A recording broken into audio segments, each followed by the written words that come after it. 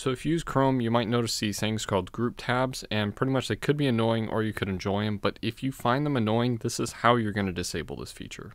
You want to go up here, type in chrome colon slash slash flags, and you want to go to tab groups and make sure this is set to disabled. Click relaunch right here and you should be good. If the tabs are still showing up, close Chrome or even restart your phone and you should be good. Hope this video helped you out. Thanks for watching.